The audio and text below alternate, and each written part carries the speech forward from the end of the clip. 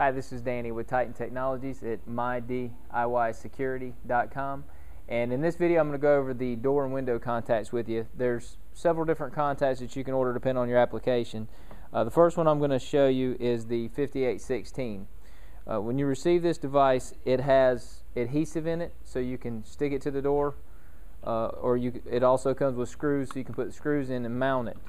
Uh, when you get the transmitter, all this is going to be pre-programmed for you.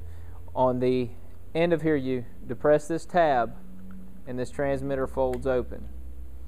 Okay, when it folds open, there's a tab in the back of here. When you push that tab back, this back plate is going to slide off of this contact. That is going to be your mounting plate that you're going to use to mount this transmitter. When you put it back on, it puts on and snaps back down. Uh, when you get it on there, I, I like using the screws just because it's more secure. If you're in a place where you don't want to put holes in your door, the adhesive is real strong and it will work as well. Uh, when you line these up on this contact, um, close this back up, you put the top on, and I hope you can see, get a good look at that. You just fold it down and it snaps back on that tab. When you line this up on the door, you'll have a magnet that comes with it if you look on the side of this contact, you're going to see two little lines that mark where that magnet is supposed to go. There's a reed switch in there, and that's what, what recognizes when the door opens and closes.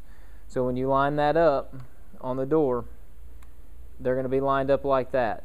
So when that door swings open, you can mount you can mount the transmitter on the door side, or you can mount it on the trim side, either one. You just want to make sure that these line up when that swings open, when those separate, that's what causes that contact to send a signal into the panel.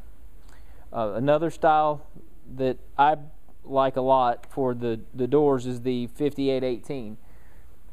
That contact, it takes a little more work. It's a little bit, a little bit harder to put in, uh, but it countersinks into the door so you can't see anything mounted to the door.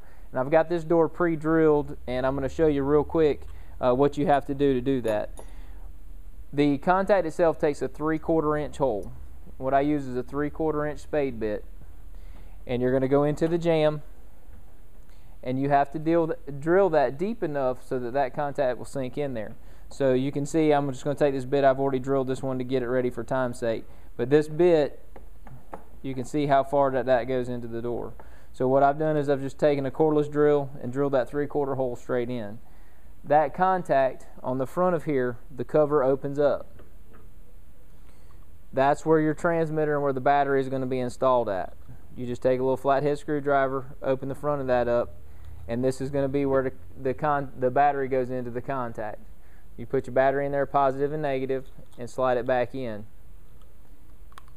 You just put this cover back on, take a little screwdriver, it just twists right back on.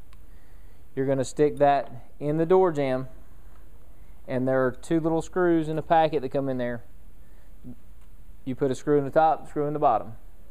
Once you get that installed, you're going to have to put the magnet in the door side. The magnet takes a 3 3 8 inch regular drill bit. When you drill that 3 8 in this side of the door, that little magnet just inserts and you just push it so it's nice and flush. So when you close this door, that's going to be lined up with that contact. So when you put your magnet in there, what I like to do is I use my little screwdriver. I put the contact side in first.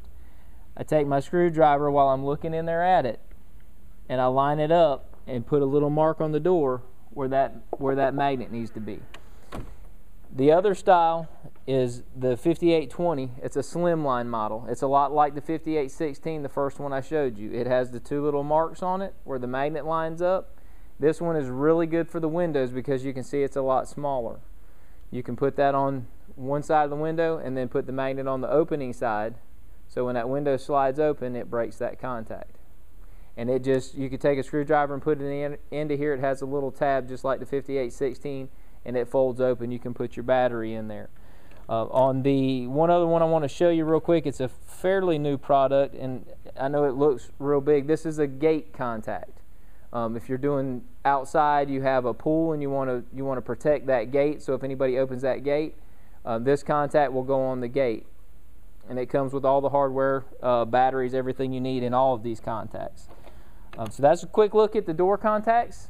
Um, for more information, go to our website, mydiysecurity.com.